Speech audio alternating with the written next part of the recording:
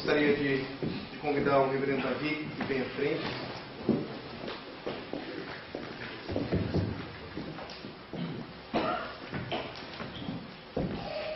Antes de passar a palavra para o reverendo Davi, gostaria de dizer aos irmãos que, para mim, de modo muito particular, é um momento também de muita alegria, porque o reverendo Davi é mais que um professor. Para mim, o reverendo Davi é um amigo. É um pastor amigo. Os pastores que puderam fazer o curso viram que é um pastor que é, se coloca não como acima de nós, mas que passa pelas mesmas lutas, passa pelas mesmas provas. É um plantador de igreja, está plantando igreja. E para mim, então, é um momento de muita alegria. Eu sou grato a Deus por esse momento. O Davi também, parceiro nosso nessa plantação da igreja, né? IPP, a igreja dele participa. Então, sem mais delongas, vou passar a palavra para o reverendo e tenho certeza que seremos muito abençoados por Deus. Que Deus abençoe, reverendo. Uma alegria muito grande.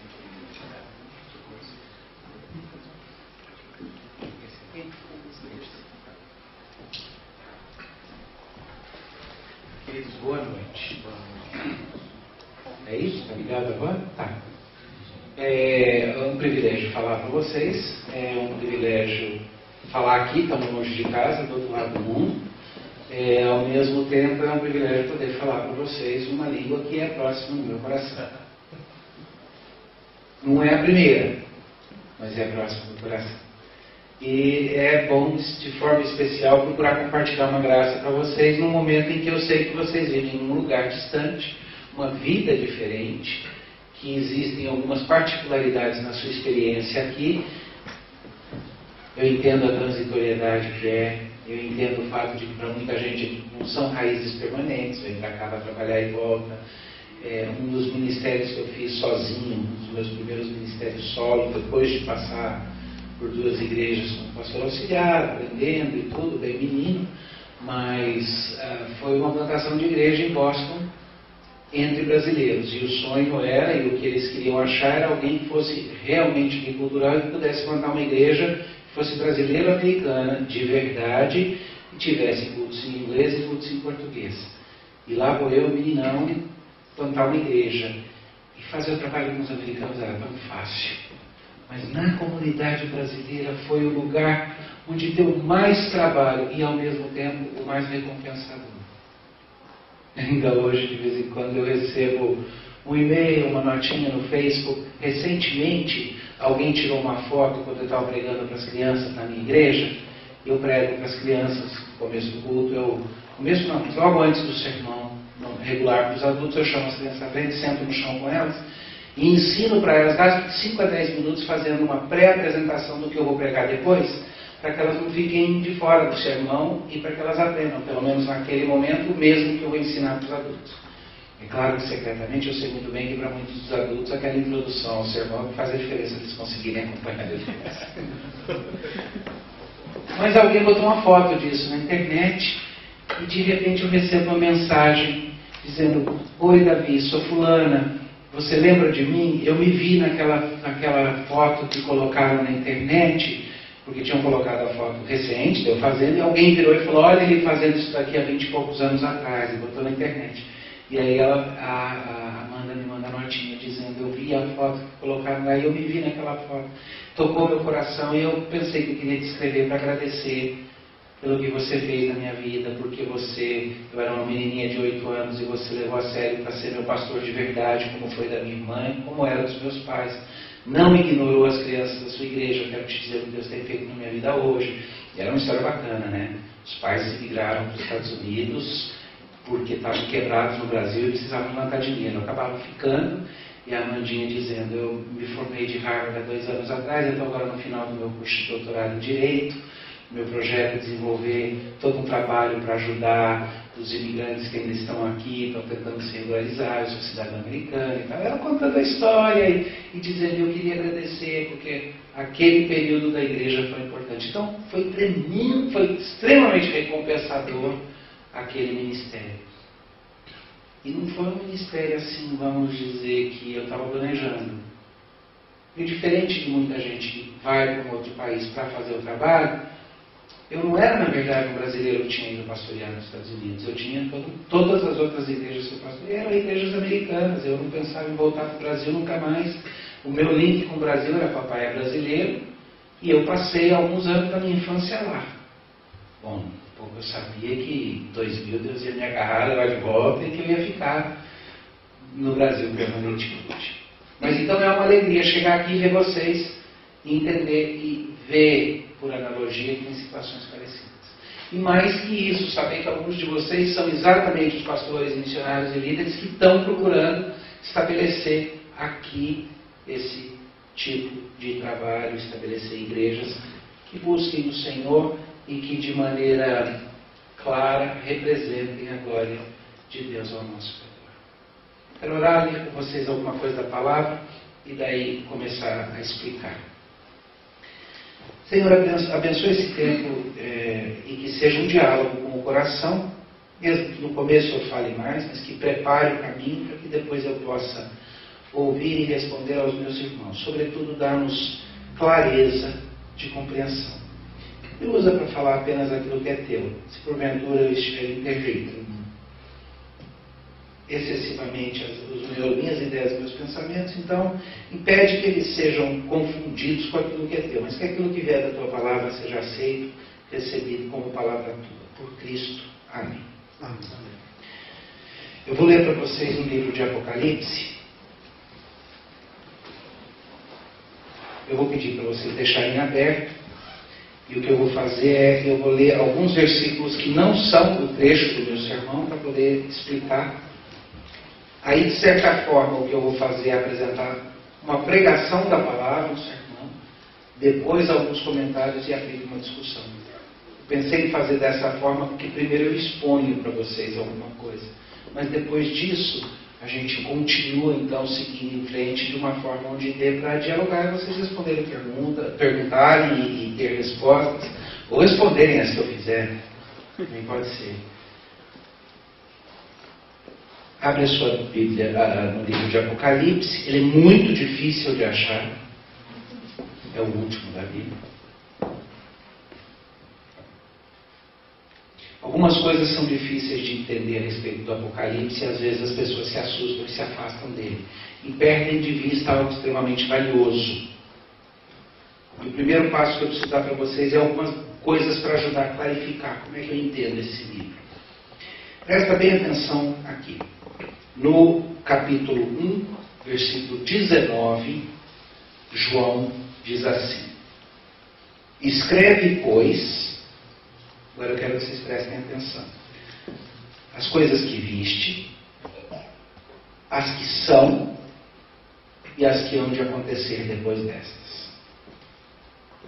Tem gente que quer interpretar o livro do Apocalipse dizendo que o livro do Apocalipse é só profecia do que vai acontecer pela frente.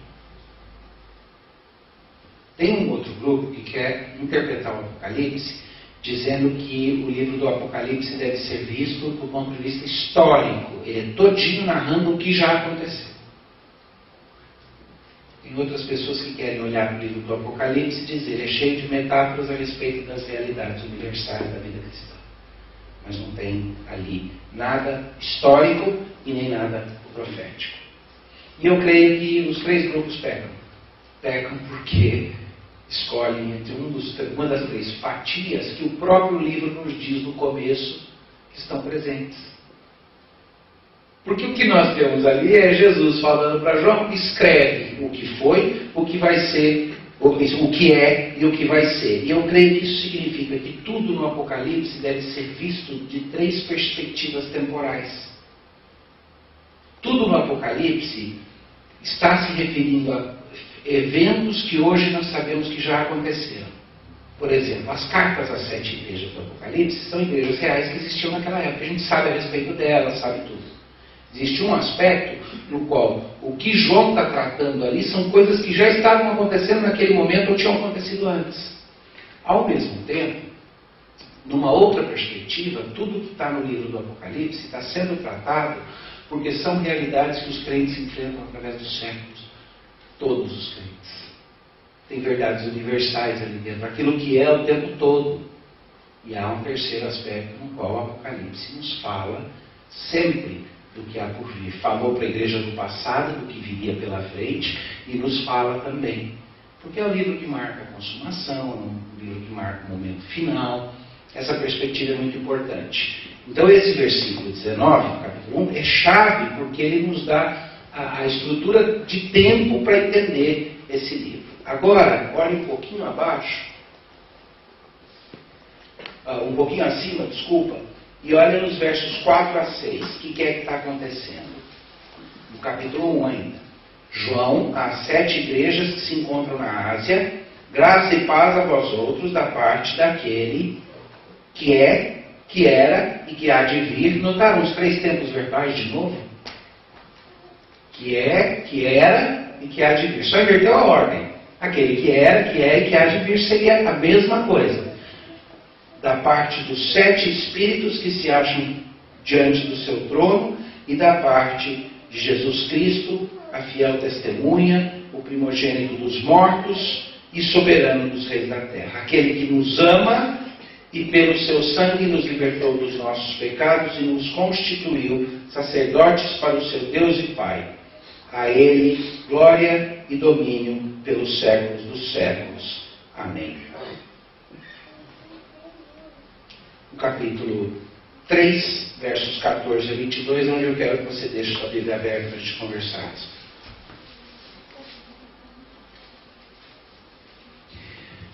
Do mesmo jeito que é muito, muito comum a gente dizer, eu não vivo minha vida só por dinheiro, não estou só atrás de bem-estar, mas aí dedicar o resto da nossa vida para tentar conseguir dinheiro, sustento e bem-estar, é muito comum a gente faz isso o tempo. Não, o que me motiva não é dinheiro, mas no final das contas eu gasto a maior parte da minha vida trabalhando porque eu quero dinheiro, sustentar a família, pagar as contas, fazer as coisas que preciso. Do mesmo jeito que muita gente diz, não, eu não estou preocupado com a igreja ser aceita pelos outros, não é minha preocupação, não estou nem aí, minha preocupação não é sucesso no ministério, minha preocupação é essa, minha preocupação é, é a glória de Deus. Mas, na prática, a gente fica o tempo inteiro preocupado com a falta de sucesso do ministério, com a falta de crescimento da igreja, com a falta disso. E, e a glória de Deus se torna desculpa para o nosso medo do insucesso. E a gente não tem um conceito muito claro do que, que é ser relevante ou ser irrelevante.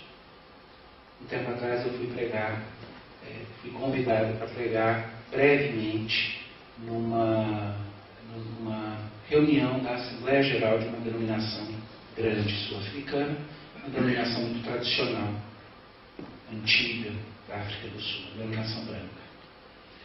E que era branca, hoje ela é, é, é híbrida e uma denominação cuja teologia sempre foi muito boa. E eles estavam enfrentando uma dificuldade. Havia, em primeiro lugar, um clima na denominação inteira de muita tristeza, de muita angústia, de muita dificuldade. Eu vim a identificar mais tarde que isso era uma culpa coletiva que eles tinham por causa do apartheid que o país tinha vivido. E o irônico é que exatamente essa denominação que desde 72 estava condenando por escrito a apartheid. Mas na prática não tinha se envolvido em nada e eles viviam com aquela culpa, nós somos africanos, nós não fizemos nada e tal. E aquela culpa ia deixando triste, deixando arrebentado. Eu não sei se vocês sabem, mas culpa já é ressentimento, sempre. Quando você se sente culpado, você começa a ressentir ao separador. De outro lado, medo. Medo de cair na irrelevância. Eles raciocinavam assim: nós somos uma igreja cultural. Nós somos uma igreja que pertence ao gueto cultural de quem não é maioria aqui. Uma minoria cultural, os africanos, que não são holandeses. Eles são os descendentes dos colonos holandeses, mas africanos são africanos mas falam uma língua diferente, que não é o Zulu. Os Zulus vieram mais tarde para a África, que não é o Banto, que não são essas outras línguas. Então, junto com aquele sentimento de culpa que trazia tristeza, havia muito medo de cair na irrelevância. E aí as duas coisas se misturam e o raciocínio para algumas pessoas era assim, por exemplo, imagina só, nós lutamos, nós, nós falhamos quanto ao apartheid E se agora nós falharmos quanto a outros movimentos sociais de pluralidade, de aceitação de certos grupos, e se nós de novo formos encontrados na contramão da história? Nós precisamos nos adaptar ao novo, aos novos tempos, senão vamos cair na irrelevância. Nós precisamos olhar em volta e ver o que os outros estão fazendo, fazer a mesma coisa para ser relevante. Eu, eu, comecei a perceber aquela preocupação e os debates que estão tendo ali. E eu resolvi que, na, na minha breve exposição da palavra, eu ia falar alguma coisa sobre isso. E falei. E eu percebi a reação. Eu percebi que para alguns foi, ai, que alívio. Para outros foi, não, não pode ser, não pode ser, nós vamos ficar irrelevantes, nós vamos. E eu fiquei pensando, já no começo dessa semana, estava num hotel ah, no centro, perto do, do, do, Instituto, do Christ Bible Institute, e ah, andando, fui saindo para tomar café com o Diogo, eu comentei alguma coisa sobre isso. O dia seguinte ficou na minha cabeça. Que incrível! De vez em quando eu via alguém que se vestia diferente, que fazia. Mas os homens, basicamente, todo mundo de terninho cinza, gravatas mais ou menos parecidas, daria para tirar uma foto e falar que é todo mundo igual. E não é coisa de brasileiro que acha japonês é parecido, não. Eu estou falando diferente, eu estou falando que eu estava olhando e vendo as roupas e notando que todo mundo. E eu fiquei pensando, está todo mundo querendo ser relevante. Que jeito bonito de ser relevante, né? Se padronizar e ficar todo mundo igualzinho, todo mundo é relevante. Ei, espera aí. Se todo mundo é igualzinho e acha que é relevante, todo mundo é relevante. Não tem diferença. O que é que torna uma coisa relevante ou irrelevante?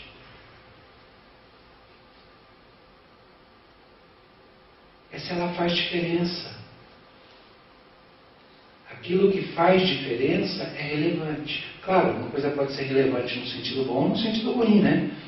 É um fator muito relevante na, na, na, destruição da sociedade brasileira o fato de que o brasileiro tem menos compromisso com a verdade do que deveria. Relevante. Mas é algo fora do comum. E a pergunta aqui é: quando as igrejas se tornam relevantes, o que é que acontece? Deixa eu ler com vocês um poema de um poeta que eu não posso nem dizer para vocês que é especial, não porque é, a, ele, é um, ele é ótimo do ponto de vista técnico, mas infelizmente muitas vezes bem enganado quanto ao que fala. Mas nesse poema ele conseguiu captar alguma coisa. Eu, eu, percebo que alguns de vocês aqui fazem parte mais da minha geração. Chegaram a viver alguma coisa do que foi o período da nossa ditadura, que já ficar esquecido na história, né? Pois Ferreira Goulart escrevia durante o período da ditadura isso daqui, final dela, e ele diz assim: o preço do feijão não cabe no poema. O preço do arroz não cabe no poema. Não cabem no poema o gás, a luz, o telefone, a sonegação, do leite, da carne, do açúcar, do pão. O funcionário público não cabe no poema com seu salário de fome, sua vida fechada em arquivos, como não cabe no poema o operário que esmedila seu dia de aço em carvão nas oficinas escuras. Porque o poema, senhores, está fechado, não há vagas. Só cabe no poema aquele homem que não tem estômago, aquela mulher feita de nuvens, aquela fruta que não tem preço, o poema, senhores, não fede nem cheira. Não sei se você percebe o que ele está dizendo aí. Ele está reclamando que a poesia sem compromisso social poesia idealizada, ela não fede nem cheira, ela fala de belezas que não têm relação com a vida e com as situações das pessoas. Portanto, ela não fede nem cheira. E me corta o coração descobrir que muitas vezes a igreja está procurando meios malucos de alcançar a sociedade, de se tornar relevante. Vamos nos tornar relevante mudando o nosso jeito de culto. Vamos nos tornar relevante descobrindo uma nova moda que todo mundo está fazendo. Olha, tem um pessoal lá que está fazendo isso e isso talvez nos torne relevantes.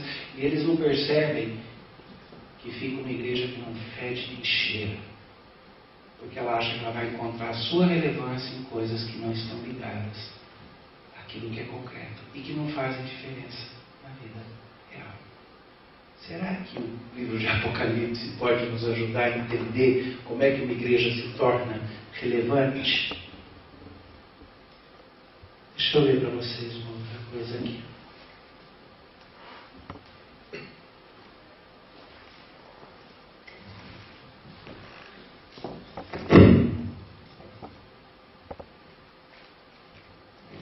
Certo homem escreve da cadeia.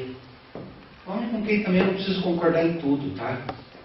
Mas de vez em quando ele tinha uns insights tão bacanas. Ele escreve da cadeia e diz assim: Havia um tempo quando a igreja era muito poderosa, muito forte.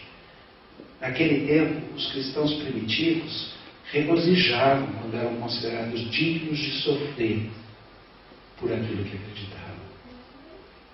Naquele tempo, os cristãos entravam numa cidade e as pessoas que tinham ofício público ou autoridade ficavam preocupadas. Imediatamente começavam a tentar é, ver se conseguiam se livrar daqueles atrapalhadores e roubadores da paz. É assim que os cristãos eram conhecidos. As coisas hoje são diferentes. Na igreja contemporânea, perdeu aquela força. Ela é uma voz inefetiva. Ela é uma voz que soa oscilante. Aprova, desaprova. Se a igreja de hoje não conseguir reca recapturar aquele espírito sacrificial que a igreja primitiva tinha, ela vai perder a sua autenticidade. E se ela perder a sua autenticidade, ela vai precisar abrir mão da lealdade do coração de muitos. Porque os corpos podem continuar ali, mas o coração já não estará naquilo. E aí, aos poucos, ela vai precisar ser desconsiderada e ignorada como algo irrelevante, algo do passado que pertence nos museus da história. Martin Luther King Jr. escreveu isso daqui no, em, em 61, eu. E eu acho que estava certo. Eu acho que ele estava certo. E eu acho que a Bíblia diz isso. Que a questão de relevância e irrelevância da Igreja de Cristo, ela não tem a ver com como é que nós nos adaptamos aos tempos ela tem a ver com como é que nós confrontamos efetivamente o nosso tempo com a esperança que existe em Cristo. Deixa eu ler com vocês aqui e estudar com vocês hoje o que, que acontece numa das sete cartas que são escritas. Vamos voltar para aquela explicação que eu dei no começo. No livro de Apocalipse, tudo trata de uma perspectiva tríplice. Que é, que é quer ser. As cartas também. As cartas se referem a igrejas reais locais que existiram e a problemas concretos que aquelas igrejas enfrentaram. Elas são históricas. Mas cada uma dessas cartas também tem lições universais que são reais para a igreja em todos os momentos da sua vida, são lições gerais. Mas cada uma dessas cartas, eu creio, se refere também a uma grande época na história da cristandade. Isso fica bem claro quando nós olhamos. E o que mais me assusta, e é o que mais me incomodou quando eu preguei uma sequência inteira de sermões nas cartas do Apocalipse, é que quando chega a esse ponto, está falando da nossa era, está falando do nosso período. Então a lição é tripla. A lição é isto foi o que aconteceu. A lição é isso que tem de acontecer com a igreja. E a terceira parte. Hoje nós somos uma igreja marcada por isso. Deixa eu ler com vocês.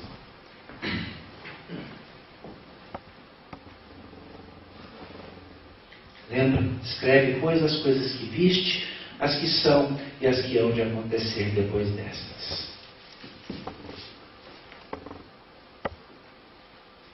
Ao anjo, da, ao anjo da igreja em Laodiceia escreve essas coisas, diz o Amém, a testemunha fiel e verdadeira, o princípio da criação.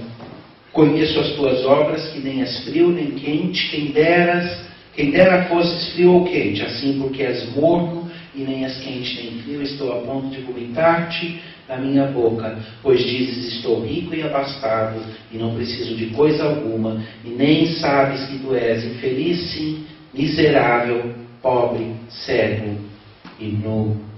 Aconselho-te que de mim compres ouro refinado pelo fogo para te enriqueceres, vestiduras brancas para te vestires, a fim de que não seja manifesta a vergonha da tua nudez, e colírio para ungires os olhos, a fim de que vejas. Eu repreendo e disciplino a quantos amo. Sê, pois, zeloso e arrepende-te. Eis que estou à porta e bato. Se alguém ouvir a minha voz e abrir a porta, entrarei em sua casa cearei com ele e ele comigo.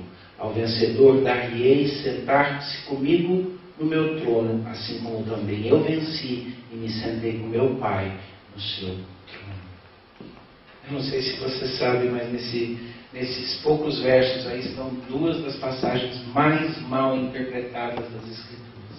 Dois dos versículos mais tirados fora de contexto. Eu não posso nem começar a mexer com isso, com, com, com a questão do que acontece, do que faz com que a igreja se torne irrelevante, se eu pelo menos não corrigir esse erro de interpretação aí. Eis que estou à porta e bato. Se alguém abrir a porta, entrarei e cearei convosco. A gente usa esse verso para evangelização. Né? Jesus está batendo na porta do seu coração. Abre, vai deixar ele ali fora no frio. Tem dó de Jesus. Abre a portinha para ele. Knock, knock, knock. Já abre o coração para Jesus. E a gente usa assim mesmo. E o contexto é totalmente outro. Jesus está falando de igrejas que de uma forma ou de outra têm sido fiel, fiéis ou infiéis. E tem uma lista de igrejas. E uma ele diz, para cada uma dessas igrejas, nas sete cartas, e eles são sete cartas, ele escreve. E as cartas são escritas para a igreja e para a sua liderança. E ele escreve assim. Para cada uma delas ele dá um veredito. Para cada uma delas ele explica a situação. Para cada uma delas, ele faz ameaças e faz promessas. E o que, que acontece? A promessa que ele faz aqui é o seguinte: se vocês voltarem atrás, eu ainda estou aqui próximo. Abre a porta de volta, não é a porta do coração, é a porta da sua igreja. E eu vou entrar em comunhão com vocês. Não abra a porta da igreja e tchau, fique na sua irrelevância. Relegue-se a sua própria irrelevância. Então, é que estou à porta e bato. Porta de, do quê? Da igreja, é Jesus com a igreja. É sobre relevância da igreja. As igrejas que estão se tornando irrelevantes, e por uma razão específica, elas estão se tornando irrelevantes. E aí é que ele faz essa ameaça. E ao mesmo tempo essa promessa. Eu repreendo a quem ama. Eu estou aqui ainda. Abre a porta, eu volto. Como é que ele bate na porta de uma igreja que está ignorando a ele e, portanto, caindo na irrelevância? Como é que Jesus bate na porta dessa igreja? Vamos lá. Como é que ele bateu na porta da igreja de Laodiceia? Na carta que João escreveu, ele está batendo na porta da igreja, não está? O que, que a carta diz? Vocês estão se fechando para mim caindo na irrelevância. Ao fazer isso, o que ele está dizendo? Ele está dizendo: Estou aqui e disposto a voltar se vocês abrirem a porta. Está batendo na porta, certo? Como que ele bate na porta das igrejas que estão representadas aqui, mesmo que nesse número só de pessoas? Bom, de várias formas. Uma delas é porque ele pega e traz alguém para pregar para vocês e dizer. Jesus batendo a porta, ele chama a igreja de volta ao arrependimento para que ela possa continuar sendo relevante em vez de cair na irrelevância. O bater a porta, então, é isso, é a pregação do Evangelho e a batida na porta. E a pregação do Evangelho para uma igreja que de alguma forma está beirando a apostasia é o chamado de Deus batendo a porta e dizendo: abre a porta, eu entro e vou ter comunhão com vocês. Não abre, tchau e benção. Essa é uma passagem. Tem outra aqui que é muito mal interpretada. Irmãos, vocês não entendem que o crente, ou o crente tem que ser presbiteriano, ou o crente tem que ser da Assembleia de Deus, não pode ser morno. Ou ele tem que ser frio, ou ele tem que ser avivado, não pode ser morno, porque morno Jesus vomita. A gente interpreta o frio e quente aí como se fosse. É, tá, vocês não gostaram do exemplo que eu dei, acho que pastor Diogo que é presbítero, eu fico incomodado. Não estou respeitando nossa denominação, não, irmão. Ou você tem que ser japonês ou você tem que ser italiano, não pode ser no meio, não pode ser coreano. Sei lá, alguma coisa assim. Vocês pegaram, né? A gente interpreta isso é uma violência para o texto. Isso é uma violência para esse texto. Vamos olhar honestamente, em vez de ler religiosamente? Raciocina comigo, o que, que define o estado de algo ser morno, algo ser tépido? É a palavra para isso, tepidez.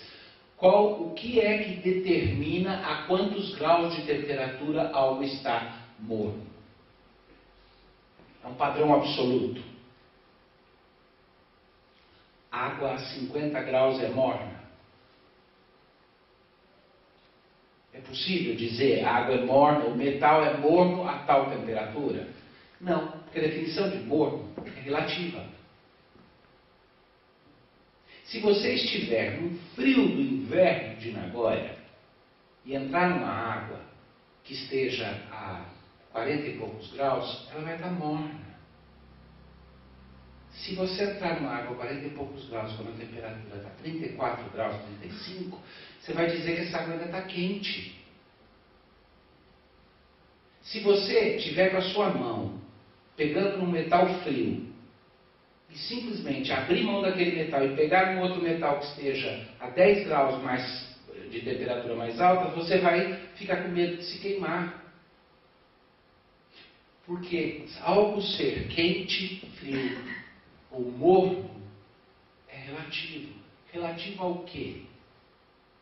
Bem, há duas coisas. Algo é morno quando sua temperatura não difere muito da temperatura daquele que está experimentando o objeto. E algo é morno quando a temperatura dele está próximo daquela do seu meio ambiente.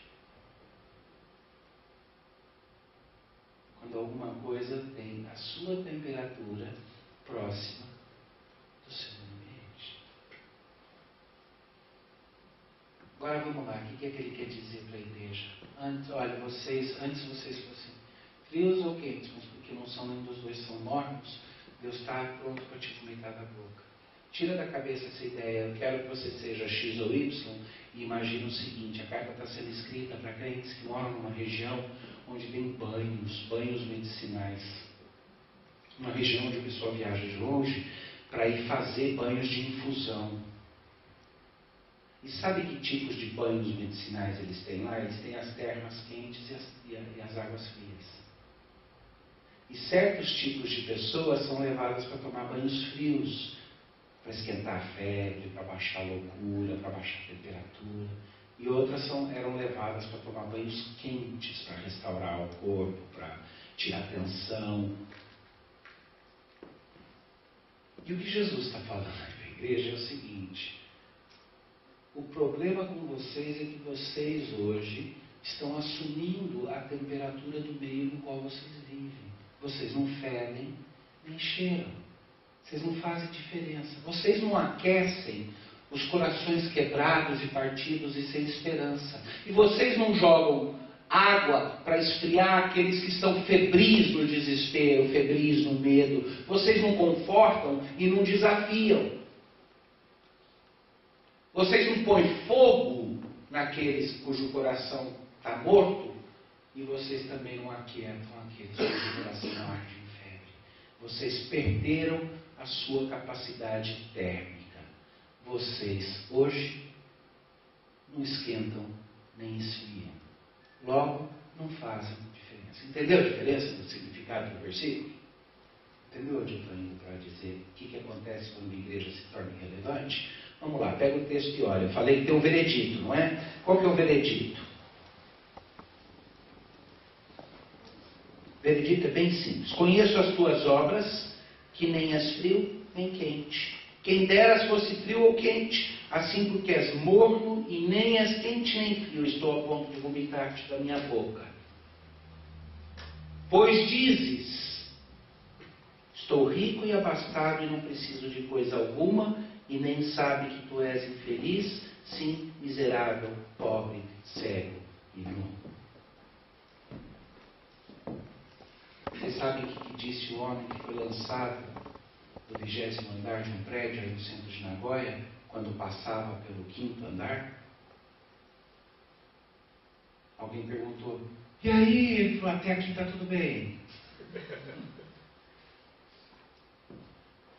Gozado que depois de dizer o problema com vocês é que vocês são mornos. Não esquentam, não esfriam. Jesus fala, o anjo do Senhor, falando à igreja de Laodiceia, por intermédio de João, ele vira e fala: o problema é que vocês pensam que está tudo bem e não percebem que vocês estão em queda livre. Vocês não acordaram ainda para o fato de que a tua riqueza já foi, de que a tua visão já está afetada, de que vocês estão O que, que são essas coisas? Pobre, cego e nu. Vamos lá, nudez tem a ver com o que normalmente na forma bíblica de expressar. Do que, que o crente deveria se vestir? De vestes brancas de justiça, certo? A nudez sempre tem a ver com ser exposto como quem deixou de ter a coraça da justiça, a capa da justiça, as vestes de justiça.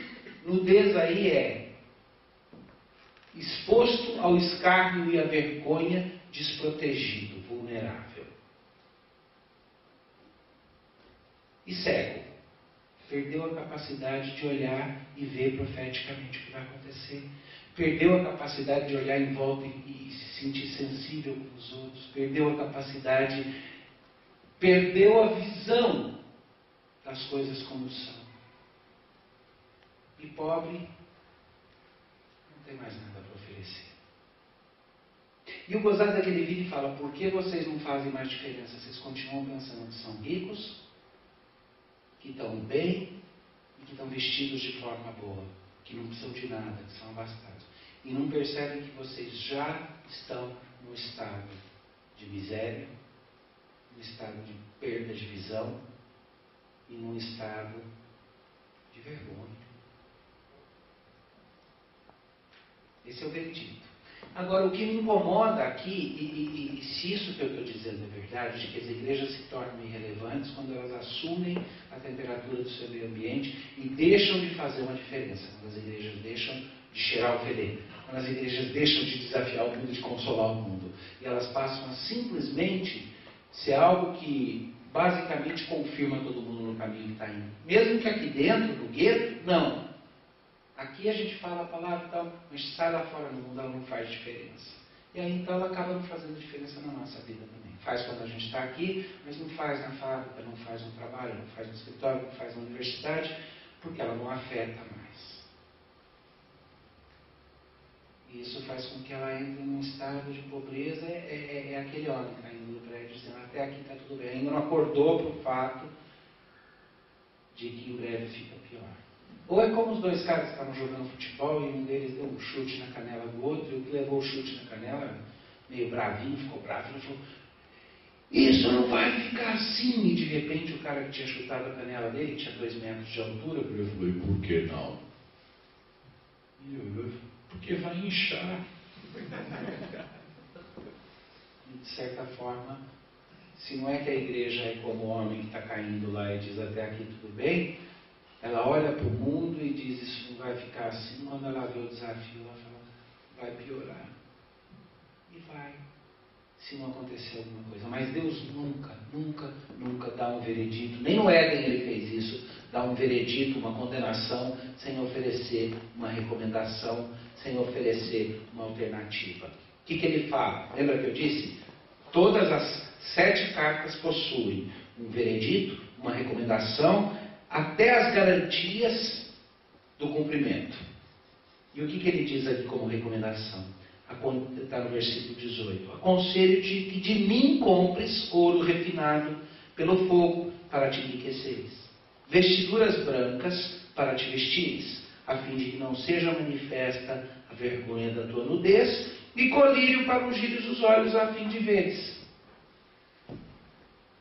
E honestamente eu vejo, eu fico lembrando dos meus filhos, eu tenho gêmeos.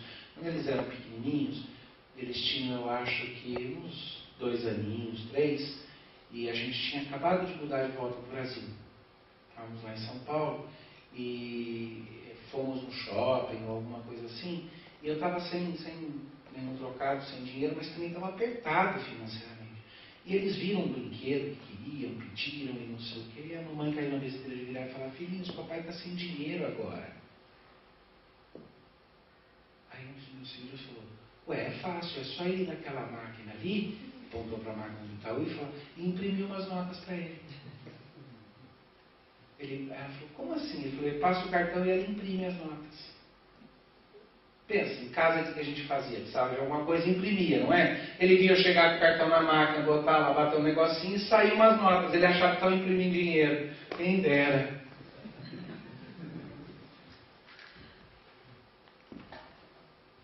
Ou então Maria Antonieta, né? Na França. O povo está desesperado aí no portão, estão querendo matar a gente. Por que nós somos tão bons governantes? É que o povo está sem pão. Ué, eles podem comer brioche. Desculpa, mas honestamente, um veredito desse, uma condenação dessas, e a recomendação que Deus dá para quem está pobre é ir comprar ouro dele. Para quem está nu, é para ir comprar roupa dele. Para quem está cego, é para ir comprar colírio dele. Como que eu vou comprar colírio se eu estou pobre? Como que eu vou sair para ir comprar as coisas se eu estou nu? Como que eu vou ver o que eu preciso para poder comprar? Está entendendo o dilema aí? Que recomendação é essa? Vocês estão pobres, cegos e nus. E eu recomendo para solucionar isso que vocês comprem de mim isto, isto, isto. Não deveria ser que vocês peçam e implorem para que eu leve aí e dê para vocês de graça, dê de. Por que, que ele vira e usa essa expressão que comprem de mim isso, isso, aquilo? Bom, Poderia, eu poderia tentar dizer que é porque ele está dizendo que com o meu esforço eu compro dele. Mas a gente já sabe que a salvação não é pelo meu esforço, é por obra dele. Poderia ser, não, mas agora que somos salvos, se a gente quiser voltar atrás, vai ter que penar, vai ter que rastejar, vai ter que pedir, vai ter que. Mas não pode ser, não é assim que Deus lida com o seu povo. É sempre uma relação de graça e fé. O meu trabalho é fé, estender mãos vazias para receber a graça dele. E aí passar a viver de acordo com nova criatura, o que significa mudança de comportamento, operosidade, ser uma igreja que faz a diferença. Mas isso nunca é a cura. Você nunca cura alguém mandando a pessoa fazer mais. Mas também você não cura a pobreza de alguém mandando a pessoa comprar. Vai comprar com o quê? E aí? de que forma a igreja recupera a sua autenticidade, a sua riqueza. De que forma a igreja recupera a sua clareza de visão. De que forma a igreja recupera a sua justiça de vida, para que ela seja uma voz que faz a diferença. Como é que eu compro do Senhor? Vamos começar pelo colírio? Como é que eu compro do Senhor o colírio que abre meus olhos, que abre minha visão? É na palavra, eu busco da palavra do Senhor. E eu pago o preço. Não o preço para Ele me dar o que eu preciso, o preço que está implicado em buscar a palavra do Senhor como fonte principal de foco e de visão para as coisas. Preço que está implicado em me submeter à palavra. Ora, Deus, é, Deus é, é, é, dono de todos os bois da terra. Eu não vou comprar com ninguém um dólar, nem com meus esforços. Jesus já pagou o preço de sangue pela minha vida. Que preço Ele quer que eu pague? Senão o preço da entrega em submissão para que eu veja a palavra. Para que eu tenha visão, a palavra, pagando o preço de buscar a palavra. Não adianta querer que a igreja se torne relevante se ela não se tornar uma igreja que ama a palavra, que prega a palavra. Você ama a palavra de Deus?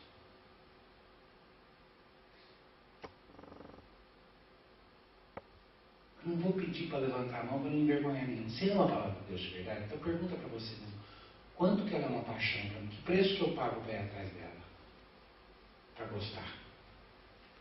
O menininho foi comer na casa da, do amiguinho, a mãe muito preocupada com o menino enjoado com comida, ela falou, quando você chegar lá, você come tudo que oferecer. Não vai dizer que não gosta, que isso é feio. Mamãe, mas e se eu não gostar de comida? Fala que gosta. Bom, mamãe. Quer dizer, a mãe já está ensinando mentir desde pequeno. Aí ele senta lá na mesa e a mulher traz lá um prato de giló com raiz forte. O menino olhou, olhou, o olhinho ficou manejado de lágrimas. A mulher falou, come, benzinha, é especial. Ele falou, não, muito obrigado. Falou, por que você não gosta? Ele falou, não, eu, eu até gosto, mas não a ponto de comer. Ri? Quanto você tem comido da palavra do Senhor? Gostar todo mundo gosta, né? A ponto de comer. Ela é o colírio para abrir seus olhos?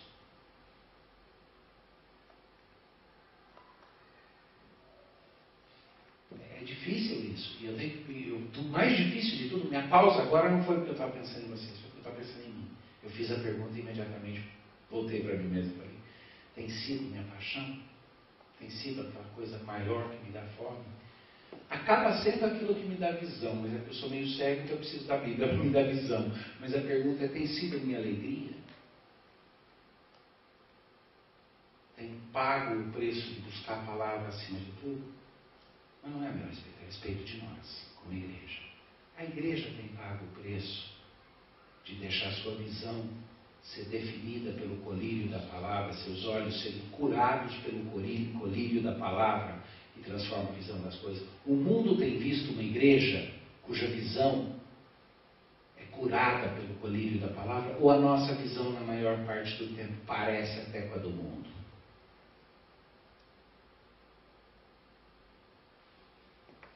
Vocês conhecem a história do fazendeiro que foi para a cidade grande pela primeira vez na vida? Ele era crente.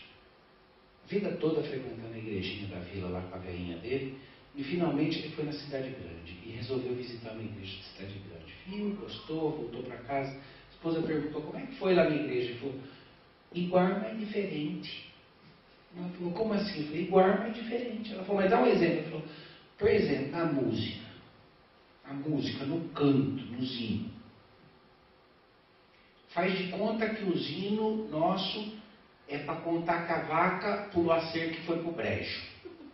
Aqui a gente canta, a vaquinha pulou a cerca e foi pro brejo. Lá eles cantam assim, a vaca, a vaca, ó Senhor, a vaca bonita, ó Senhor, a vaca, a vaca. Mais uma vez, irmãos, a vaca, aquela era uma vaca bonita. E a vaca, ah, irmãos, mas a vaca foi perto da cerca e a vaca pulou a cerca. Enrola, enrola, enrola, velho. Depois de uns 10 minutos você descobre que a vaca foi pro brejo. É igual, mas diferente. Eu temo que às vezes a nossa visão das coisas, dos assuntos, das questões ao nosso redor, da vida, da economia, da política, da ética, dos relacionamentos, seja igual, mas diferente da do mundo. Ela tem um, um vernizinho de cristandade. Umas cruzinhas pintadas no canto, um ou glória no meio, umas frasezinhas. Mas no final das contas é tudo a mesma coisa. Olha para o mundo com olhos seculares. Resolve seus problemas do jeito que o mundo lá fora resolve. A visão não foi transformada pela palavra.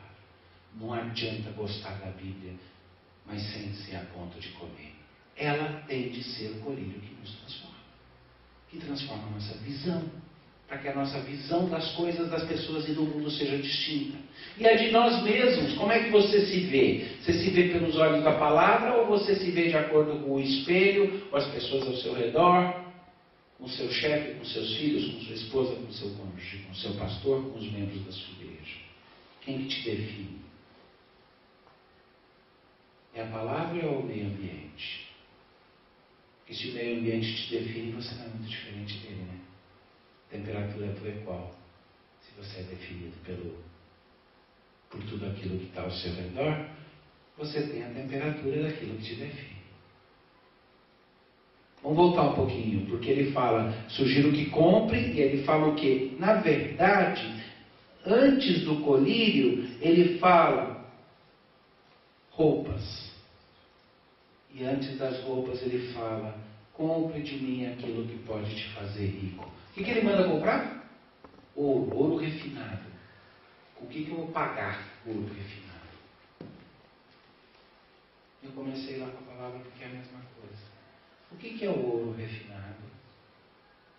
Vocês lembram de algum outro lugar na Bíblia onde ele fala sobre ouro refinado com fogo e tal e tal? Ele fala que as nossas obras vão ser pesadas e julgadas pelo Senhor e que a palha vai ser queimada e só vai ficar ouro refinado. E quando ele diz, compra de mim ouro refinado, o que ele está falando? Está falando, pese e julga suas obras. Queima a palha. Faz o que é relevante.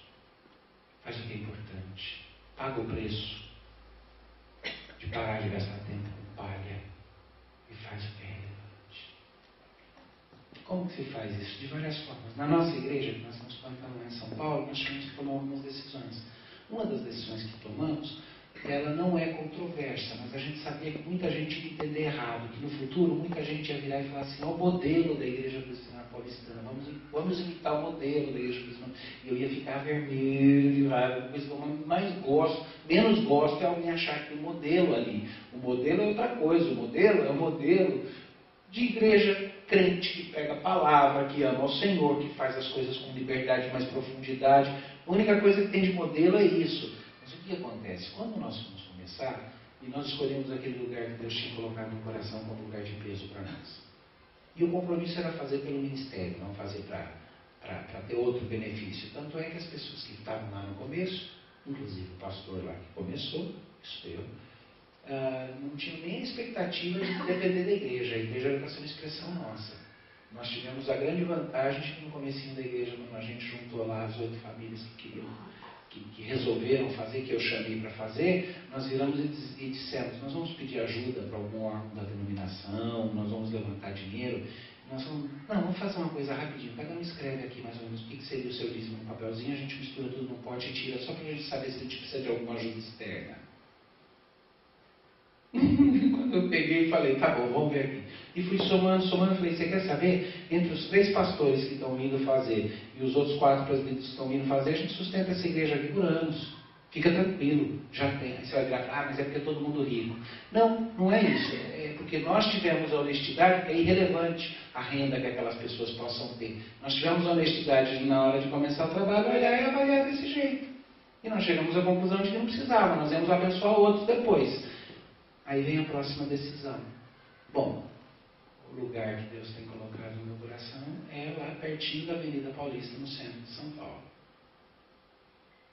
E essa semana, o fulano de tal, que nós estamos treinando para ser presbítero, que é especialista da área de. Ele é um, um advogado imobiliário, fez uma pesquisa e a gente tem aqui uma ideia mais ou menos do preço para a gente comprar uma propriedade aqui. Então, se a gente for comprar as propriedades que, nos serviriam, ah, até mesmo inicialmente, elas vão variar de 12 a 14 milhões de reais. Se a gente for querer pegar uma coisa para os próximos 10 anos, se a gente for querer uma coisa que vai servir mais para frente, nós estamos falando de 20 milhões de reais, tá? 10 milhões de dólares. Então, esse é o custo de compra. Para o custo de aluguel, nós vamos gastar na faixa de tanto. Eu disse, irmãos, desculpa, mas à luz disso daí, eu acho que é irresponsabilidade diante do reino de Cristo empatar esse valor de dinheiro para uma igreja que vai usar duas vezes por semana, três vezes por semana.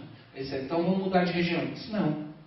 O desafio é plantar uma igreja aqui. Talvez a razão pela qual ninguém tenha plantado uma igreja aqui é por essa questão. Então nós vamos plantar. E o que, que vamos fazer? E aí vem um ponto. Ué, pensar com criatividade. Nosso propósito não é pregar, ter o culto, nos reunirmos. Vamos fazer um cálculo e ver quanto ficaria se a gente fosse pagar um lugar para reunir? Vamos. Daí um deles levanta e fala, pastor, que tipo de lugar que você quer que eu falei, qualquer lugar que tiver. Ele disse, olha, ali naquela região, a única coisa que tem vão ser os hotéis. Eu falei, ótimo. Vê lá os hotéis. Falei, de que nível? Eu falei, de qualquer nível. Pega dois, três e faz o cálculo. Ele com os números, a gente fez a avaliação, que eu descobri que por metade do valor que daria para comprar uma propriedade ali, daria para a gente passar uns 40, 45 anos reunindo nos melhores hotéis de São Paulo, com coffee break incluso. Aí ele disse, quer saber? É uma melhor administração do dinheiro do reino. Depois a gente compra uma casa, um casarão lá no Pacaembu para a gente poder ter um centro, para a gente encontrar e tudo. Mas isso é uma melhor, uma melhor gestão de recursos do reino. O normal seria dizer, não, pela fé, mesmo que seja caro, nós vamos fazer uma campanha, angariar os fundos e levantar os milhões que precisa, porque nós vamos dar o testemunho de um prédio cristão aqui na Avenida Paulista. Não, não é esse tipo de prédio que Deus quer construir. Ele quer que a gente compre ouro refinado dele. E ouro refinado a gente compra dele quando a gente está disposto a queimar a palha. E naquele caso em particular, a loucura de empatar 10 milhões de dólares, num contexto de Brasil, só para ter um prédio, dizer que tem um prédio, é palha, teve de ser queimado. E você pensa que não dói ainda hoje, especialmente para algumas pessoas na igreja, pastor, mas será que um dia a gente não pode construir aqui um de um prédio? O dia que a gente tiver com dois mil membros, eu falo, esse dia não pode chegar, irmãos, porque nós fizemos uma aliança na fundação da igreja, que toda vez que a gente chegasse a 400 membros, a gente desmembrava. E nós fizemos esse pacto. Toda vez que a igreja tinha um certo número de membros, a gente desmembra em outras, para evitar virar uma mega igreja, para sempre poder servir o corpo de Cristo de forma adequada. É a ideia de carpetar uma região em vez de construir uma torre. De novo, a tentativa de queimar a palha para que fique só o ouro.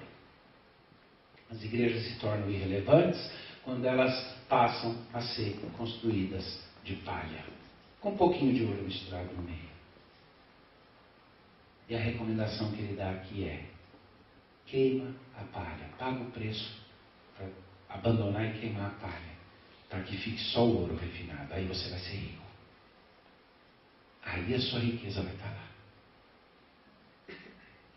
e de lambuja com a sua riqueza vão vir vestes brancas.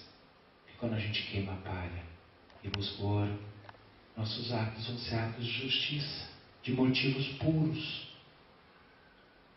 sem as impurezas. E aí é isso que ele diz, esse é o veredito. Compra de mim ouro refinado, para que vocês não sejam pobres, para que vocês estejam vestidos com vestes festivas e brancas, festivas, e para que vocês tenham clareza de visão. Ele está falando isso para a igreja, não é, é muito fácil você olhar e falar, então isso aí é só para a minha vida, aplicação individual. Sim, tem um aspecto de aplicação individual, mas a aplicação maior aqui é para a igreja. Igrejas se tornam irrelevantes quando elas perdem a capacidade de confrontar e consolar sua, a, a, o mundo ao seu redor, a sociedade, quando elas perdem a capacidade de desafiar e confortar. São duas coisas que a igreja deve sempre fazer. Ela deve botar fogo nas coisas e ao mesmo tempo ela deve trazer refresco. Não ao mesmo tempo, né? Em situações distintas. Para algumas coisas, fogo. Para algumas coisas, gelo. Não é assim quando a gente machuca? Eu nunca sei quando que eu ponho bolsa de água quente, quando que eu ponho bolsa de gelo. Dia estava morrendo de dor de cabeça, botei bolsa de água quente na cabeça. Minha mulher falou, você está louco? Bolsa de água quente é quando está com dor muscular na cabeça, é bolsa de gelo para passar dor de cabeça. Mas eu nunca sei direito qual dos dois. Mas eu sei que não é os dois ao mesmo tempo. E é para coisas diferentes. Só estou tentando aprender ainda para que, que é o que. Mas a igreja, com uma clareza de visão profética, se ela tiver usando o colírio da palavra, com vestes puras, queimando a palha e se preocupando com o que é real, deixando de se preocupar com, com o que é maquiagem, aí ela vai saber discernir onde é que põe a bolsa de água quente, onde é que põe a bolsa de água fria. O legal é que é aí que vem a garantia que ele faz. Lembra que eu falei? Cada uma das cartas tem um veredito, uma recomendação e aí algumas garantias. Ele diz assim: Eu repreendo e disciplino a quantos amo. Se eu estou dando um pito em vocês, é porque amo vocês. Ele não abandonou essa igreja. Ele vai chegar depois para a igreja e dizer: vocês são sinagoga de Satanás. Mas não aqui. E eu não creio que o nosso momento já passou. Eu creio que nós estamos num momento no qual Deus nos chama para um retorno, para que a gente dê um último esforço de vida, no sentido de manifestar a glória dele ao redor nesse mundo. E por isso ele diz: Eu amo, eu repreendo a quem eu amo. Por isso eu digo: Sê zeloso, arrepende-te. Eu estou aqui à porta. Se alguém ouvir a minha voz e abrir a porta, entrarei em casa e cearei com ele, e ele comigo. É uma oferta de comunhão, uma oferta de reconciliação com a igreja. Igrejas se tornam irrelevantes mesmo quando elas ouvem o desafio do Senhor, como nessa carta à igreja de Odisseia, e ainda assim não abrem a porta e dizem: não, eu prefiro a minha própria riqueza, minhas próprias roupas e os meus próprios olhos. Mas quando eles dizem, entra Senhor, ouvimos a tua voz, seca-nos, repreende-nos. Aí ele diz, eu vou ter comunhão com vocês e vocês comigo. E aí ele termina dizendo, aquele que permanecer até o fim, eu vou recompensar com uma coroa de autoridade pelo trabalho que foi bem feito. Galardão não é prêmio para curtição Galardão é responsabilidade. Galardão é a autoridade de quem foi fiel no pouco para que seja fiel no muito. Eu imagino que nós estivéssemos, se estivéssemos todos agora diante do Senhor e dissesse, agora eu vou distribuir aí as coroas para os grupos de cristãos que trabalharam juntos. Primeiro, os galardões são distribuídos nesse sentido. Tá?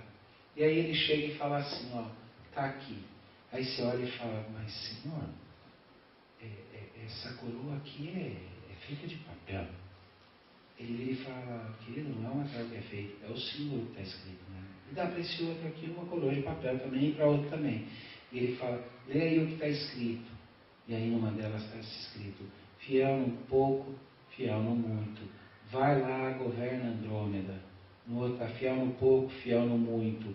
Vai lá e, e, cuida do, do continente da Antártida. Vai lá. Estou tentando sugerir para vocês que os galardões, as recompensas, as coroas que a Bíblia dá, são coroas de autoridade no reino de Deus e não benefícios pessoais. É mais trabalho, é mais responsabilidade.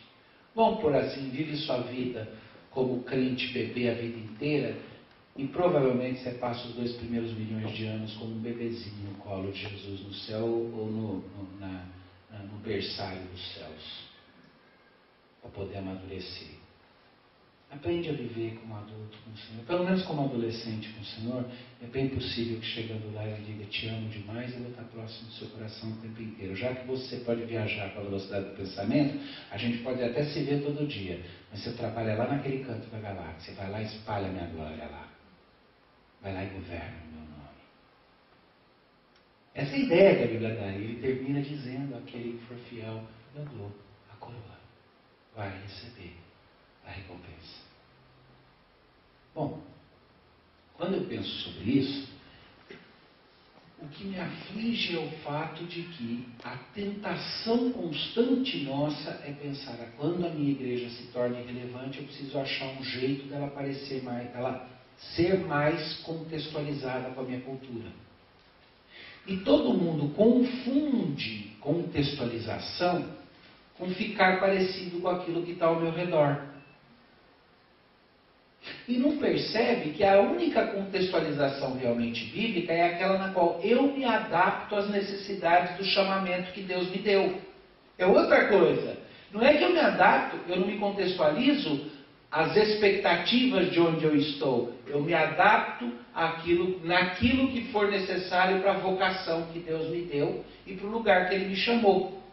O que significa? Eu preciso aprender a, a, a, a, língua, eu preciso entender a cultura, eu preciso aprender a falar e me comunicar de um jeito que eu seja ouvido, eu preciso aprender os símbolos, eu preciso entender o que naquela cultura transmite as coisas, eu preciso ganhar o direito de falar e ter a minha voz ouvida, mas não é que eu, eu, o que eu não preciso é ficar parecido com aquilo que está ao meu redor. Pelo contrário, quando eu dominar os símbolos culturais, dominar o contexto e for capaz de me comunicar efetivamente, aí é que a minha diferença do meio ambiente vai se manifestar. Eu vou trazer calor para os corações que estão gélidos. E vou trazer refrigério para quem está queimando de febre. E as pessoas ao meu redor vão dizer: Uau, essa igreja faz diferença. Eu quero parar por aqui e abrir para algumas perguntas. Nós temos 15 minutos, né, Reverendo? Tá? Pode ser. Aí talvez o melhor jeito fosse até usar o microfone para os outros ouvirem a pergunta, né? Se alguém quiser, alguém gostaria de perguntar o. Aproveita e pergunta. Se não, eu faço as perguntas para vocês. É, se não, eu tenho perguntas para fazer, viu? Tá ligado? Alô, alô, tá ligado. Alô? Alô. Então, reverendo, é, quais são assim, os primeiros sintomas de uma igreja quando ela está se tornando irrelevante? Sintomas práticos. Ela cresce para dentro, uma encravada. Ela começa a, a. Se ela tem crescimento, esse crescimento dela é um crescimento que ah, não é para fora, não é, não é uma expansão que traz para dentro as pessoas diferentes. Ela começa a trazer para o seu meio só quem é parecido. Isso que eu estou querendo dizer, ela cresce para dentro.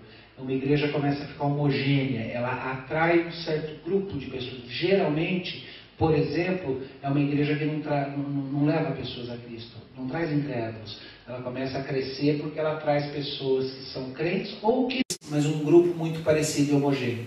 Quer dizer que todo, nenhuma igreja pode ser assim? Não, ela pode começar assim, até pode. Mas uma das primeiras características é que ela fica que nem uma encravada, ela cresce para dentro. E ela deixa de ter aquela face externa.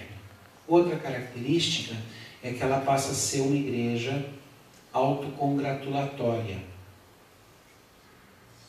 Grande parte das ações culturais e tudo nunca é uma reflexão amorosa mais crítica a respeito das coisas, como é que nós fazemos melhor.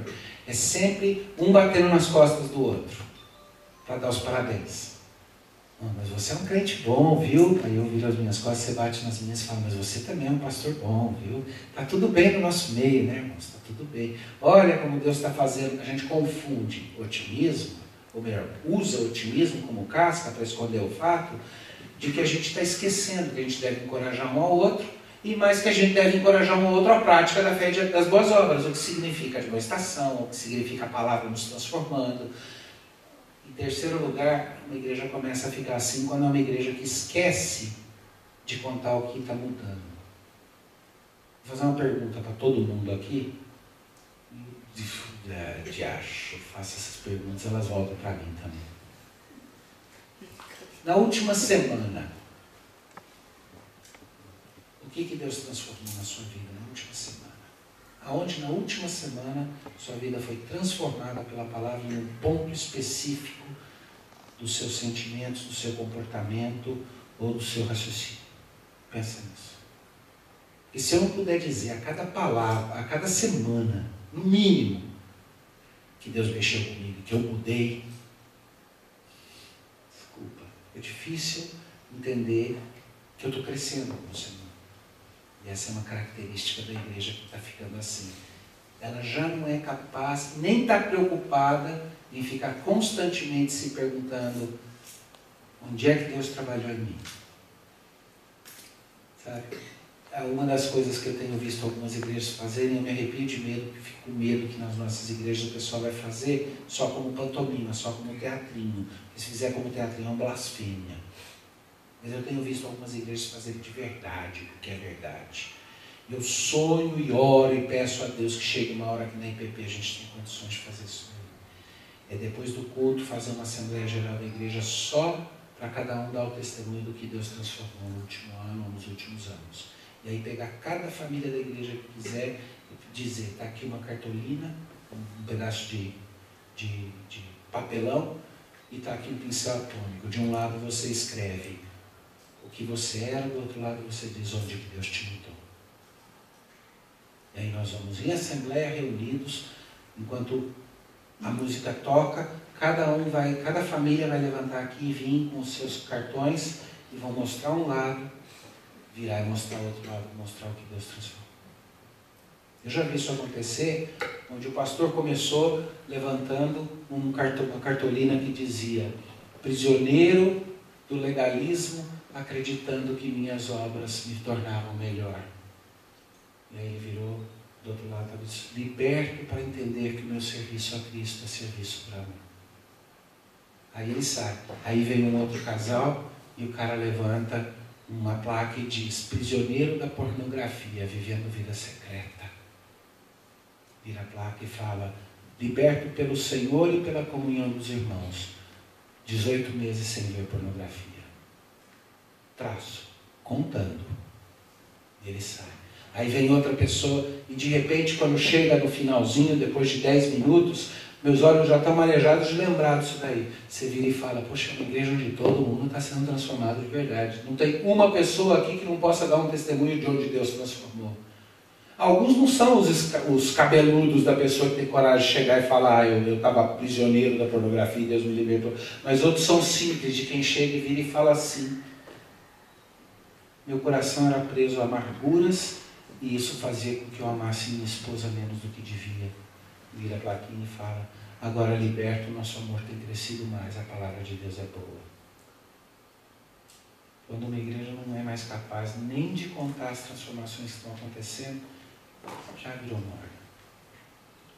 Tem de buscar esse poder e essa transformação. Desculpa a resposta longa aí, um pouco. Alguém mais quer perguntar?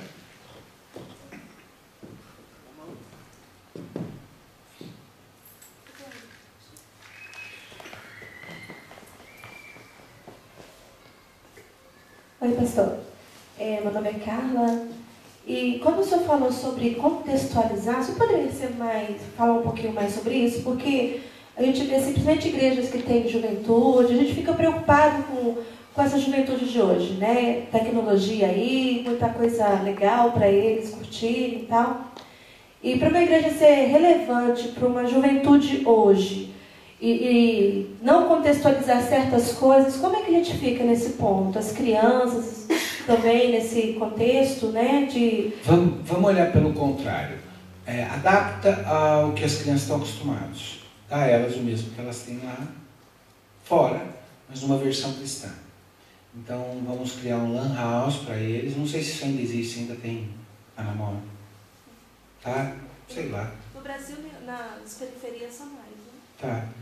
É, vamos organizar para eles um, é, uma vez por semana vai ter cosplay na igreja, todo mundo vai se vestir, tem cartão de ninguém, vai vir para cá e vai ter bailinho na igreja, nesse bailinho santo não vai poder ter álcool, mas vai ter umas bebidas lá feitas com groselha imitando coquetel, e vai ter dança, mas na dança não pode dançar coladinho, mas vai poder... vamos, vamos fazer uma versão cristã de tudo que eles experimentam lá fora. E vai ser uma delícia o dia que a gente ouvir um jovem virar e falar assim, eu gosto daquela igreja porque tudo lá é tão parecido com o que eu faço lá fora, é só diferente. Pai, Senhor, é igual ao nosso, mas diferente.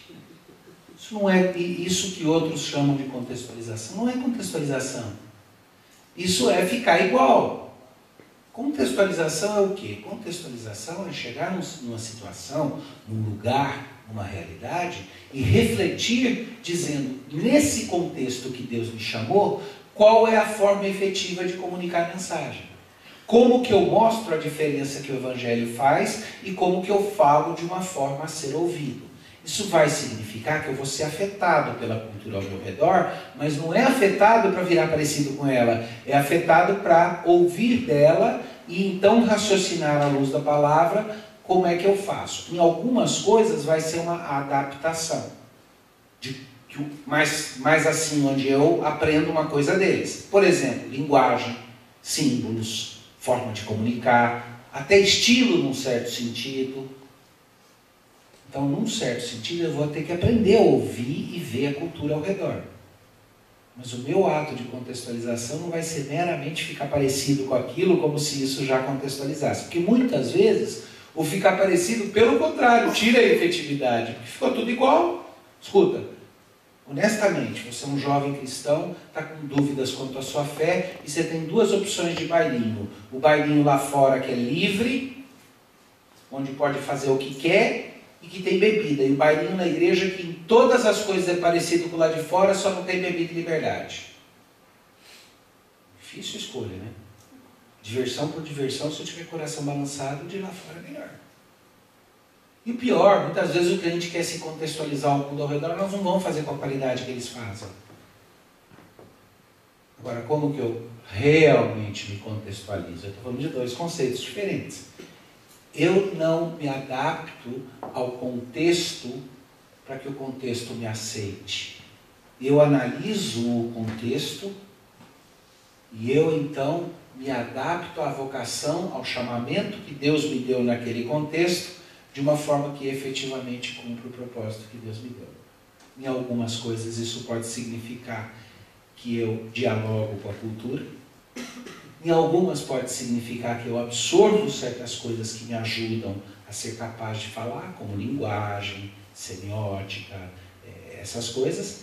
E em outras coisas, eu conscientemente tomo a diferença de, eh, eh, tomo a decisão de que eu vou enfatizar a, a descontinuidade, a diferença, de que parte da minha marca aqui vai ser mostrar o contraste. Ainda assim eu estou contextualizando, porque eu estou respeitando o contexto, mas não me submetendo e sim analisando ele para ver como é que eu vou estabelecer e comunicar o senhorio de Cristo naquele contexto. Eu, eu espero que tenha, em termos gerais, que tenha respondido. Eu sei que não está muito exato, precisaria de um pouco mais de tempo para responder, mas eu espero que, em forma geral, dê o toque de o que me preocupa e o que eu concordo. O que me preocupa é que todo mundo, por desculpa de contextualização, está ficando morno. Está ficando igual o que tem em volta. Temos mais alguma pergunta? Acho que é a última, porque está quase acabando aqui, né? Tem mais cinco minutos, Federico? Mais uma. Seria? Você achou? Ninguém? Ah, vou fazer uma pergunta.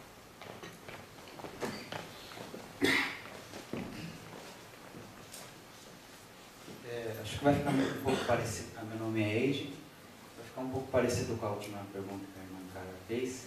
Mas é, é, no meio dessas igrejas que tem essa tentativa de expandir o Evangelho, é, tem vários projetos que são plantados. E no meio desses projetos é, tem essa junta de cultura ou é, a intenção de chamar mais as pessoas, né? Às vezes, então, essa intenção é, de querer é, chamar mais as pessoas, então eles criam é, nova atividade, nova, no, nova formas de apresentar o Evangelho. Isso a igreja está se tornando irrelevante?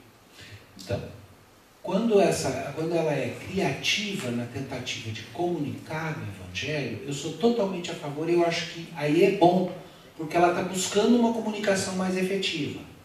Mas a linha é muito tênue entre a tentativa de comunicar mais efetivamente e a tentativa de vender o peixe para os outros, fazendo parecer que a gente fala a língua deles. Tem muito, parece muito parecido, mas tem muita diferença. Num deles, eu quero aprender a tua linguagem para comunicar uma verdade. Você é um incrédulo, eu quero aprender a sua linguagem para comunicar uma verdade, mas eu não vou tentar fingir para você que eu estou aprendendo a sua, a, a sua linguagem para confirmar você onde você está. Eu vou dizer, eu estou querendo aprender a sua língua porque eu quero te puxar daí para outro lugar. No outro, eu penso, como que eu consigo fazer parecer para ele que eu sou tão atraente? Porque daí ele vem aqui. Quando ele vier aqui, a gente fecha o negócio. Aí, quem sabe, a gente segura ele. Esse segundo, é manipulação. É o, que é, o, é o que é feito muitas vezes. Todos nós sabemos que é extremamente errado virar e falar assim: ó, o negócio é o seguinte, hoje eu vou pregar um sermão aqui, a gente precisa encher essa igreja, tá? Muito pouca gente aqui. É o seguinte, você vai achar uns dois caras, bem feio, sujo. você vai falar para você vai contratar eles. Tá? Eu vou pagar uma daquelas notinhas de 10 mil para cada um deles, antes do culto, para eles tomarem uma pinga para ficar bem fedido. Aí você vai trazer eles aqui.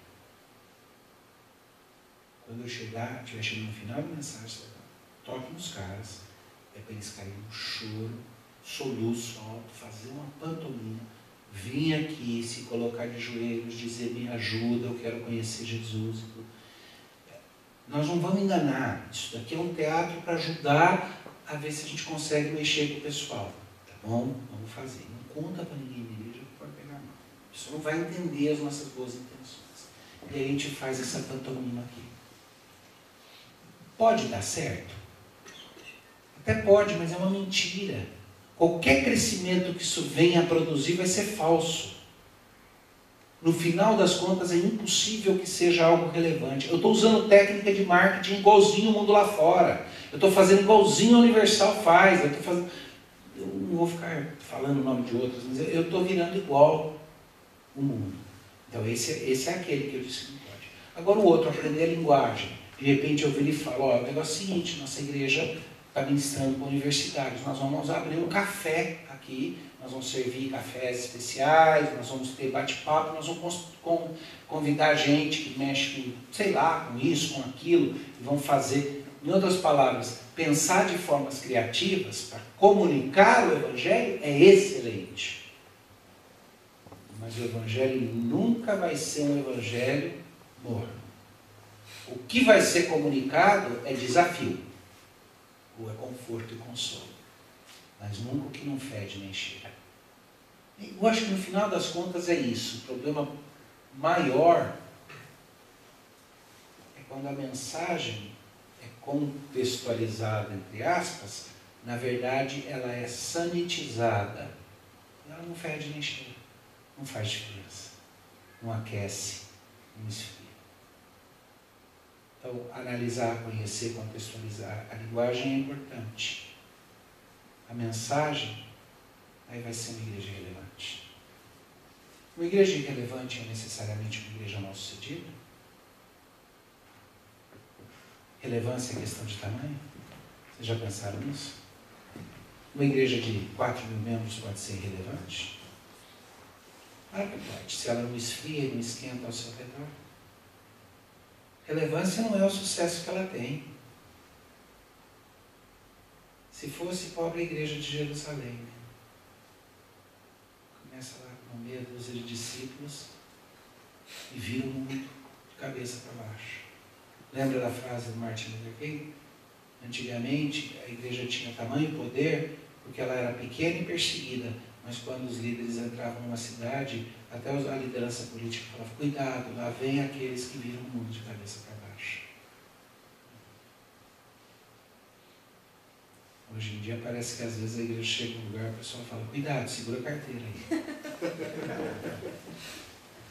ah, reverendo, vou passar para o Diogo, mas antes eu tenho uma última pergunta, uma penúltima pergunta, que ele vai fazer a última. É, é, depois dos meus olhos serem abertos pelo colírio da palavra, estando numa igreja irrelevante, quais são os passos que eu devo tomar dentro dessa igreja para auxiliar essa igreja a se tornar relevante? Uma vez que ela não se torna relevante, até que ponto eu devo permanecer lutando? Eu diria que a questão de saber quando é a hora de ficar, quando é a hora de sair, é uma questão de analisar com cuidado o quanto eu ainda posso fazer. Se eu tenho voz, espaço, se eu tenho chances de conseguir incentivar meus irmãos, eu devo ficar e lutar enquanto for possível. O único momento de pular fora é quando eu disser, não, é consciente, eu já falei, eu já busquei, já dei testemunho, é consciente, a igreja está conscientemente escolhendo, e minha voz já virou inefetiva. Então eu vou servir o Senhor em outro lugar.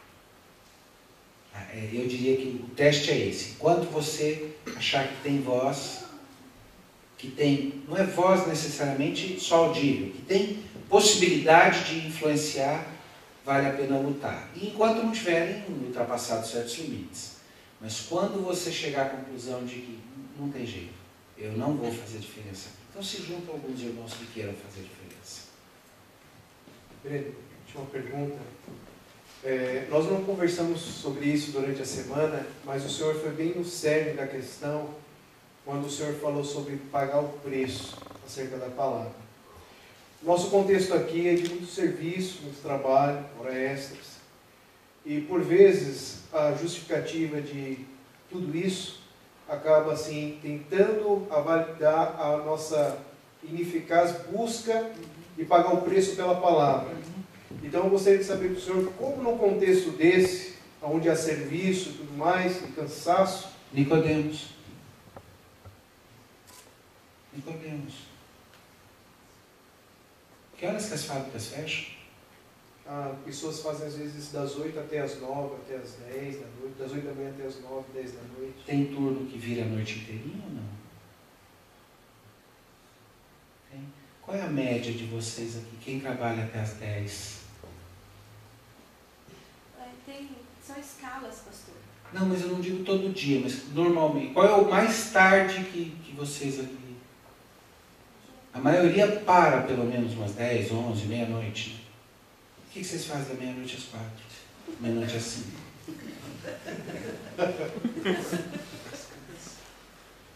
Ué, paga o preço. Não todo dia, porque se fizer todo dia vai morrer. Não vai conseguir trabalhar. Mas uma vez por semana, pegar e falar assim, eu não tenho outro horário, vai ser na madrugada, mas eu não vou quebrar com os irmãos, é o que Nicodemos fez com Jesus, curou Jesus no meio da noite, não ia ter jeito de falar durante o dia, ele precisava de um pouco de paz. Então, nas altas horas da madrugada, ele e Jesus se encontraram num bate-papo. O quê? Só aqui que tem esse problema. Eu trabalho uma média de 12 a 14 horas por dia, porque eu pastorei uma igreja, tem que administrar uma instituição de ensino, ainda tem que viajar a beça. Vou ser muito franco, eu trabalho muito. Meus turnos são pesados. Alguém vira e fala, é, mas não é em fábrica. Tá bom. Ainda tem três, quatro aconselhamentos. E quem está na minha igreja comigo, e eu tenho uma igreja ali de gente que não estão trabalhando em fábrica. Então, é, tem algumas pessoas lá trabalham em fábrica, trabalham de zelador de prédio, mas outros trabalham em, em cargos muito grandes, muito altos. Uma pessoa em particular na igreja, que é o presbítero em treinamento, uma das pessoas mais próximas de mim, ele trabalha na área de, é, de serviço imobiliário em São Paulo. E ele trabalha feito doido. E ele está fazendo negócios muito grandes, não é mais uma questão só do dinheiro que ele quer ganhar. É que se ele estiver ausente nos negócios, ele prejudica muita gente que investiu com ele e tudo. Ele pode até dizer, não, minha conta no banco já está bem, mas eu tenho uma responsabilidade fiduciária com investidores, com projetos que já estão em andamento, que se eu for irresponsável, muita gente vai quebrar. Não posso. E nas últimas, nos últimos três meses ele está ele, ele tá trabalhando o mesmo número de horas que eu. E a gente não está conseguindo se e semana passada, no telefone, eu disse para ele: Nós estamos em pecado se nós não estivermos nos encontrando semanalmente. Eu estou discipulando você, cara. Ele falou: Eu sei. Eu estou me sentindo horrível diante de Deus. Eu falei: Nós vamos ter que usar a opção de Nicodemos. Ele falou: Feito. Que hora você quer encontrar? E duas da manhã no aeroporto de Guarulhos? Falou: Duas da legal, porque daí dá tempo. Eu saí do escritório para casa, ainda ficar com a minha esposa uma horinha, uma horinha, ainda deito com ela na cama. Quando der uma da manhã, eu levanto, dou um beijo nela, saio, a gente vai Falei, eu vou fazer a mesma coisa. Fui para casa, fiquei com os filhos uns minutinhos, fiquei com a minha esposa um pouquinho, cheguei em casa às 10 da noite, tinha saído às 6 da manhã, fiquei com a minha esposa um pouquinho, conversamos, fomos para a cama junto, ela caiu no sono do meu lado, eu caí no sono do lado dela, eu estou abandonando meu lar. E aí meu despertador tocou, eu levantei, botei a roupa, peguei meu carro e fui até o aeroporto de Guarulhos, que metade do caminho e tinha lugar para a gente tomar café a noite inteira. Nos encontramos lá às duas da manhã, e botamos em dia o discipulado que precisava.